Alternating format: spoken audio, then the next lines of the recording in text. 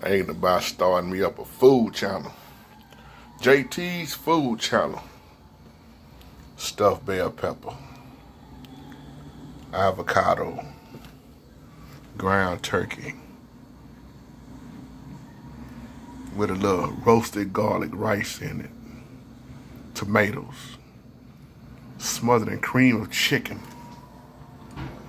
That's all I'm gonna give you. Y'all know I like to get down in that kitchen. Just took my queen a plate in the room. And now these bell peppers, depending on how you like them. Some people like them a little mushy than others. But do about 20 minutes in the oven, 20 to 25.